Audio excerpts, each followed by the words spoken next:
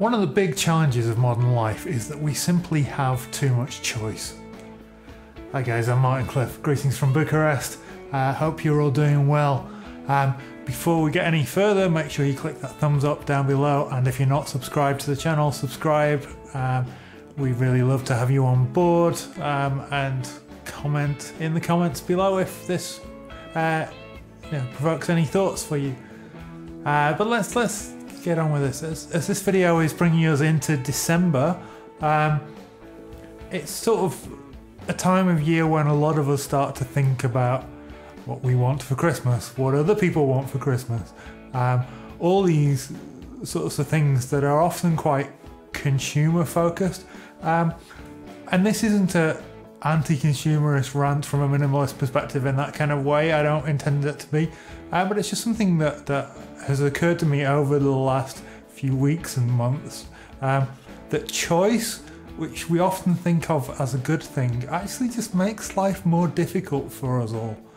Um, how many of you load your iTunes or whatever it is and have several, lots of albums that you've not listened to for years?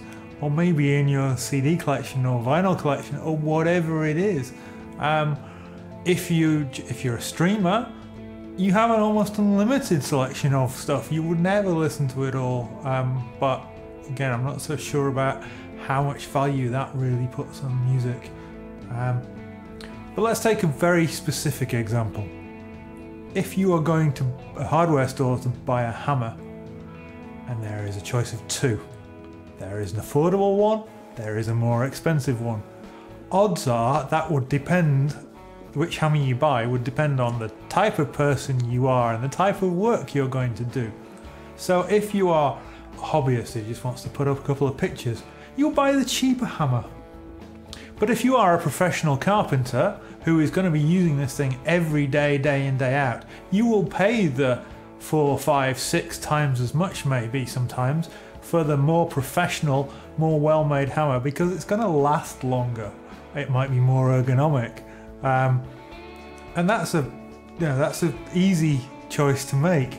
But you can apply that to so many different things. But if you walk into a hardware store these days, odds are you're going to be faced with 20, 30 different types of hammer, different different brands.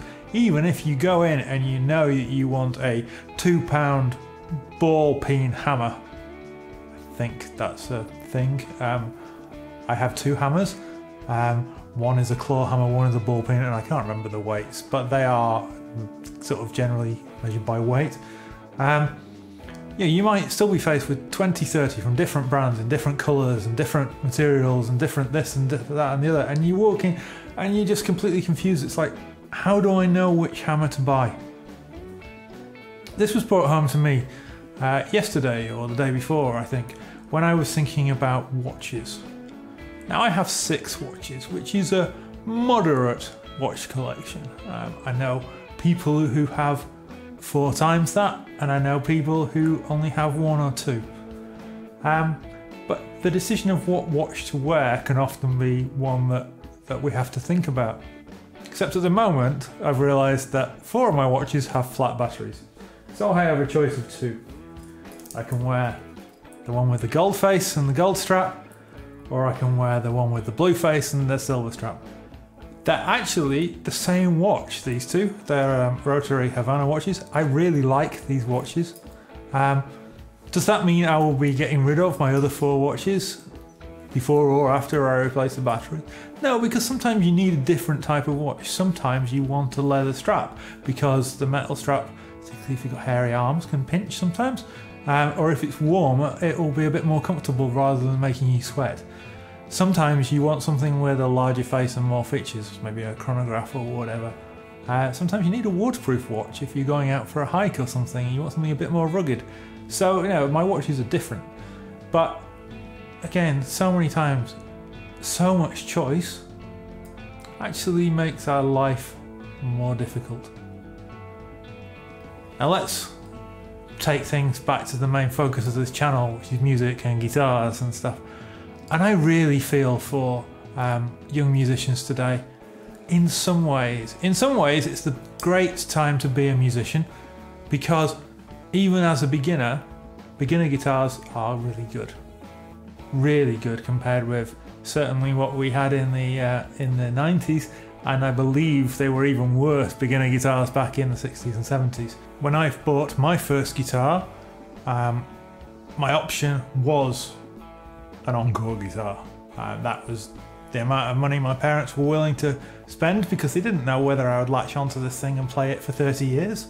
Uh, or I may have played it for three months and then given up and put it under the bed and forgotten about it.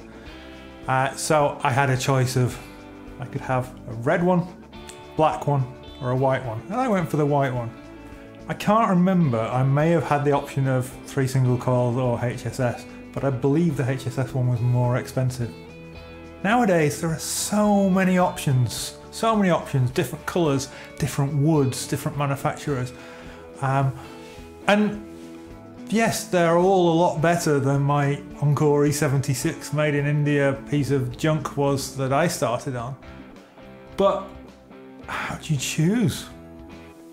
And as you've sort of developed as a musician, yeah, when I was at a point of having my most guitars, which if we're just talking about electric guitars, I think it was 18 or 19, maybe even 20, um, it became somewhat difficult to choose what to play, except it really didn't because I played one of my four Suhrs, or on a very rare occasion, maybe um, my, my Les Paul. But pretty much it was if I wanted humbuckers, I'd play Blue or Mikey, and if I wanted single coils, I'd play Old Red or I'd play Storm. That was an easy choice. Too much choice would actually make things really, really difficult. Now, a lot of the time in videos, you'll notice I'm wearing a light blue denim shirt.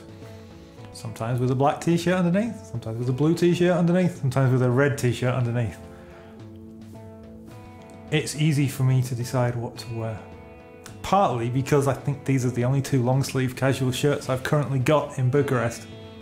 Um, so I have a few different t-shirts I can wear underneath, but my choice of shirts like this are is is limited, kind of intentionally.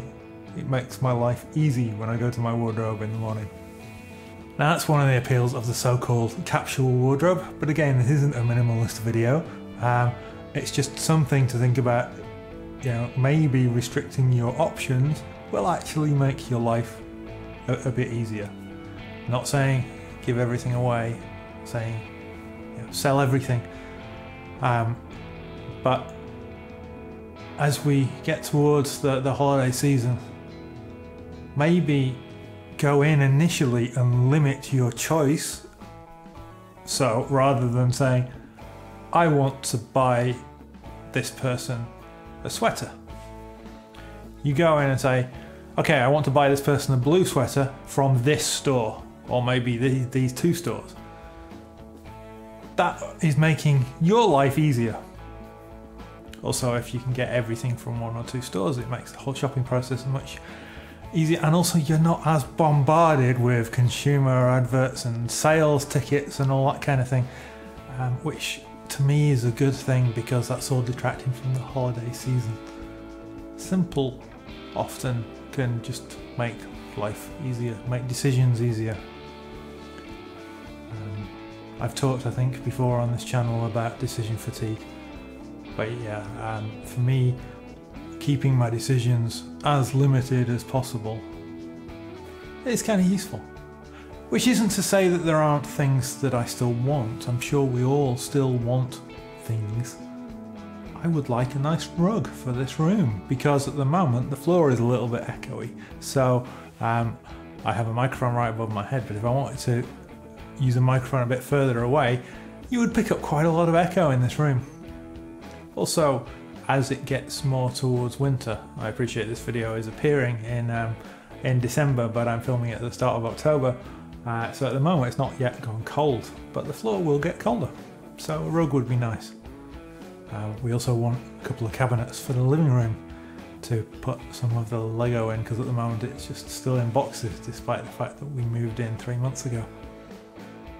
So this was just meant to be something to, to think about um, for a video at the start of the potentially the present buying season Um, think about if you're going to buy someone a material gift, and I would always encourage people to buy consumable items or experiences. Um, some of the best received gifts that we've given to family members have been things like um, an afternoon tea in a nice hotel. Or my dad really likes steam trains, so a nice ride on a steam train somewhere.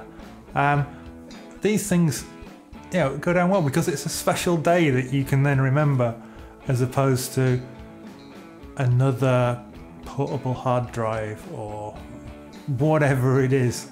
Um, so yeah, I would encourage you to, to think about things like that. But at the same time, you know, if, if you do want to buy someone a sweater, decide that it's going to be blue and decide that it's going to be from Next before you go shopping, and then it makes life a lot easier. Hope these thoughts help you. Uh, please do comment below. Don't forget to like and subscribe to the channel. Uh, I will see you next time. Take care.